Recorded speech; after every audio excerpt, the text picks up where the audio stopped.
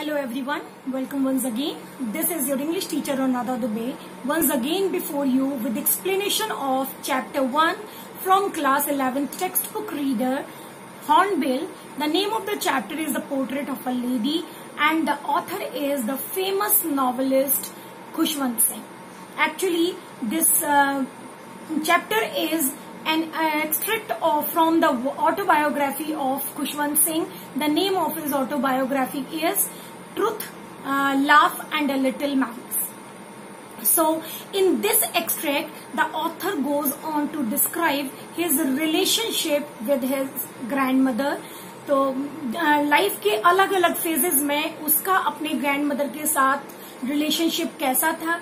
And how this relationship continues to change with the passage of time all this experience has been described in this extract extract he start by telling you कि जब वो छोटा था और जब से वो बड़ा हुआ for twenty years of his life he has seen his grandmother equally old equally wrinkled and equally stooped तो उतनी ही झुकी हुई हैं उतनी ही बूढ़ी हैं उनका फेस उतनी ही झुडियों से बंधा हुआ है। Though there are many people who say that once she used to be pretty once she used to have her husband and children but the face that the author has seen and observe he believe that all these things can never be true he has also seen the photograph of his uh, grandfather that has been uh, hung in the drawing room. He is a man with the white uh, turban and white beard flowing all around his chest. और उनको देखकर भी उसको ये लगता है that man of such age can have only lots of lots of grandchildren and can never have a wife और children तो ये थॉट्स जो है उसको उतना अपील नहीं करते हैं, लेकिन क्योंकि लोग कहते हैं तो वो सुनता है। Then he goes on to describe the physical structure of his grandmother and says that she was fat short and slightly bent with one hand she used to balance her stoop resting it on her waist और दूसरे हाथ में she used to tell the beads of her rosary and reciting prayer पूरी life इस author ने अपनी grand mother को सिर्फ़ प्रेयर करते हुए देखा है। She used to wear spotless white saris there were numbers of wrinkles running from one part of the face to the other part और इस तरीके से उसका चेहरा झुडियों से भरा हुआ था। No she was not pretty of course the with so much wrinkle can never be pretty तो ये ऑथर सोचता है, लेकिन when the grandmother used to hobble around in the house the whole sight was so peaceful so serene that he the idea used to come in to his mind that may be my grandmother is not pretty but she is beautiful beautiful because her presence in the house makes it peaceful for all loving for all then he starts with the first phase of their relationship when he was a little child and both of them the author and the grandmother had to stay at village because the father had went in search of a job to the city तो ये दादी और जो जो खुशवंत सिंह है जो बच्चा है वो दोनों एक साथ गाँव में रहते हैं and they were very much close to each other at this stage दोनों बहुत पास रहते हैं। सुबह होती है ग्रैंड मदर खुशवंत सिंह को उठाती है उसको नहलाती है उसको स्कूल के लिए तैयार करती है। दो स्टेल चपातीज में बटर और शुगर लगा के उसको ब्रेकफास्ट के लिए देती है। And she herself goes with the child to the school school that was attach to the temple both of them used to go there. In one part the uh, in one part the student used to study. And on the second part of the temple the grandmother used to sit and recite and read the scriptures and the holy books or and do prayers.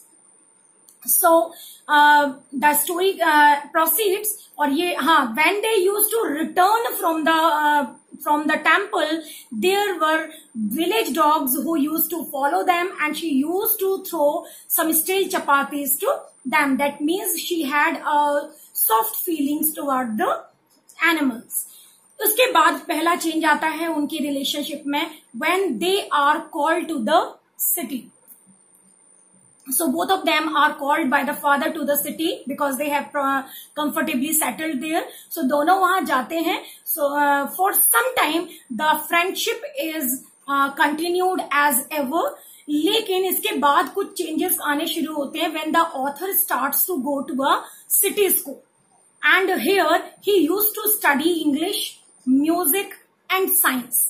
For some time when she used to return, the grandmother used to ask about his daily routine and the things which he, uh, he was studying in the school. She was not liking it at all. She, uh, he was getting his lessons in English. So this lady was not able to help him in his homework. Moreover, she was having, uh, uh, a reflection that the school was not providing any education about gods and scripture. ईश्वर के बारे में तो school में कुछ पढ़ाया ही नहीं जा रहा तो ये ख्याल भी उसको बहुत नाराज़ करता है। इसके अलावा जिस चीज़ ने सबसे ज़्यादा नाराज़ किया दादी माँ को वो ये था that this child was getting music lesson and according to grandmother the music had lewd association ये कुछ नीचे तबके के लोगों का काम है, भिखारियों का काम है, या कुछ गाना गाने वाली औरतें जो गाना गा के अपनी अर्निंग करती हैं, ये उन लोगों का काम है। ये this work is not suitable for respectable families तो वो नाराज़ होती है हल्का सा लेकिन कहती कुछ नहीं है। इसके बाद एक और चेंज आ जाता है। The next phase start when uh, when uh, the author starts going to city school so uh, to the university. तो अब जब यूनिवर्सिटी जाने लगता है और क्वाइट ही इज़ क्वाइट ग्रोन अप तो वो क्या करते हैं?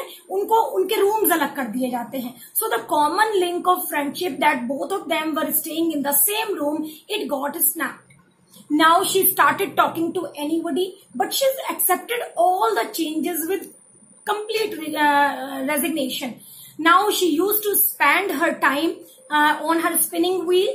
She used to uh, recite her prayer and uh, count the beads of her rosary. And she had chosen to feed the sparrows that used to gather around in the veranda or in the courtyard. Wo she used to uh, break the breads into little crumbs and threw it to the birds. And she enjoyed this half an hour very much. उसके बाद एक और change आता है when the author has been sent to abroad for further studies though it was very uncomfortable for grand mother because she was at such an age that anything could happen to her इतनी age पर वो बहुत उसको परेशान थी कि कहीं लौट के आने तक बच्चे के उसको कुछ हो ना जाए। But still she was not saying anything she was not oppose to this idea of sending the child to the to another country और वो बड़े ही शांति से उसको सी ऑफ़ करती है स्टेशन पर आती है। She kissed her forehead and the author cherished this imprint of moist kiss as the last sign of physical contact between them क्योंकि उसको लगा कि शायद लौट के आने के बाद he will not be able to see his grand mother but it was not so जब पाँच साल के बाद uh, वापस लौटा खुशवंत सिंह तो ग्रैंड मदर थी। और उसको वेलकम करने के लिए थी। अगेन वो स्टेशन पर आई and this time even this time she was busy in her prayer even this time she was telling the beads of her rosary तो कोई रिएक्शन बहुत बड़ा नहीं दिया। She just clasped her grand son और इसके बाद शाम होती है and at the evening there are certain changes that are appearing in the grand mother कुछ चेंजेस ग्रैंड मदर में आते हैं। और ये चेंजेस क्या होते हैं? वो लेडी जो अपना सारा टाइम स्पिनिंग व्हील में और रिसाइटिंग प्रेयर में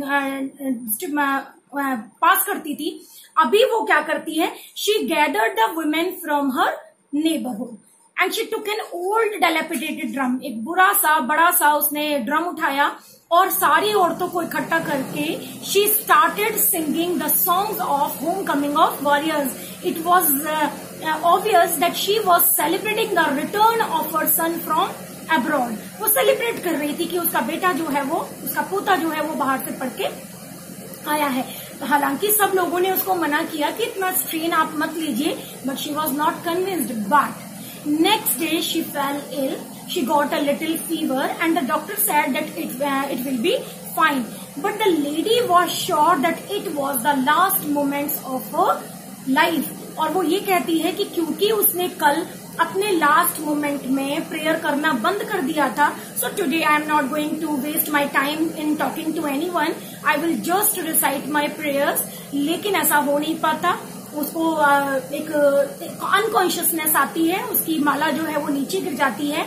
And the mother is dead सारे लोग चले जाते हैं और मदर के क्रीमेशन के लिए फ्यूनरल के लिए तैयारी करते हैं। बाहर जाके उसके लिए एक पायर वगैरह बनाने की वो तैयारी करते हैं और उसकी डेड बॉडी को श्राउड से ढक के वहाँ रख दिया जाता है। और हम देखते हैं कि जैसे सन ऊपर चढ़ता है और सन जो है it was reflecting in the half of the verandah यानी दिन चढ़ते चला गया है, दोपहर का टाइम है।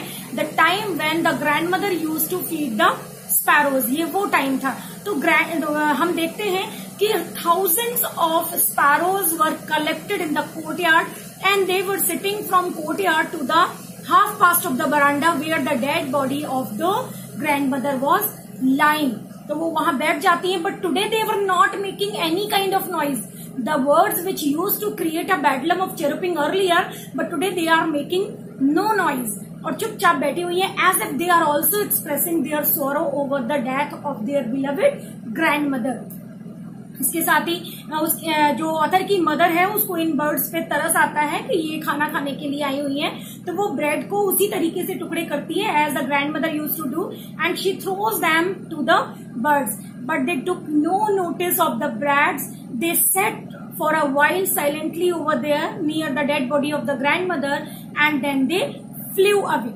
और उसके बाद वो उड़ जाती हैं तो इस तरीके से एक बहुत ही खूबसूरत relationship between the author and the grand mother and